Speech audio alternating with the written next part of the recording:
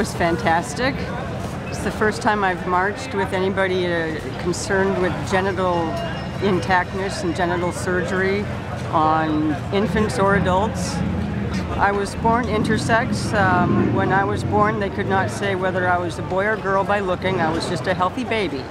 So I had the genital appearance of somewhere between a male and a female with an enlarged clitoris and no labia.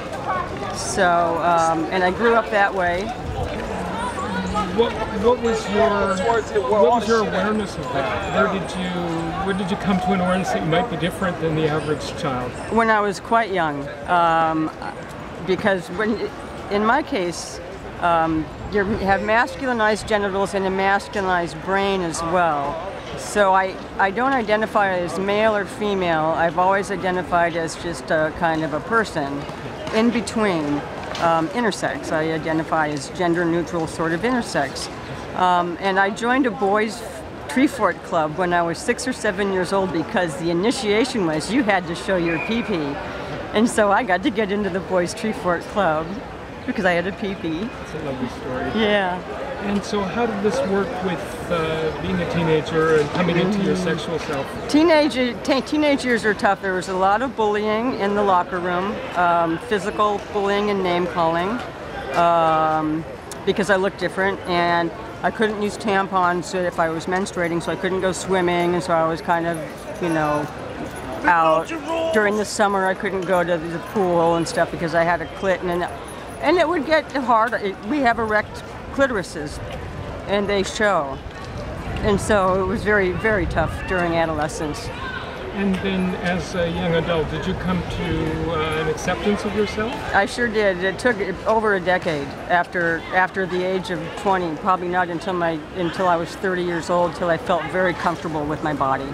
And what what is your sense of gender expression? Like do you like to be appear androgynous? Yes. Yes. Yes. Can you tell me a little bit about that? I just I don't I don't I've always felt like I don't need to conform to a, a gender binary state of female or male, and so I, I just feel in between. It's it's not that I go for the the look or anything of androgyny, but it's just how I've always felt. Um, that's just how my brain works. Yeah. and uh, are you? What, what about partnering with other people? Are you attracted to? Brains. Yeah. I'm attracted to the mind. I don't care about the body. Um, I'm unable to have penetrative sexual intercourse. So if it's a man, they have to know that and be accepting of that. So I've had a, I've had two serious partners. One was a lesbian, female, and was one was a male to female transsexual. Okay. So. And uh, do I heard you talking with Tina about surgery. Is that something you care to talk about? Um, I had surgery when I was 18 years old, cosmetic. Um, basically, so I didn't look like I had a scrotum. They put a, they cut down the middle and created an opening, direct opening to the vagina. Um, but they needed to create vulva that looked, they wanted to make me look more normal and uh, I kind of regret that. But and and what sort of message would you have for parents who might have an intersex child? If you have an intersex child, love that child and don't direct it to male or female. Um, let that child decide who it is.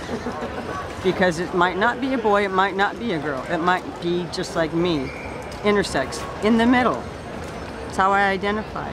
I think that's a fine place to be. I, I do too. Yeah. Is there anything else you want to add? No, thank you. Thank you. Thank you for your interest.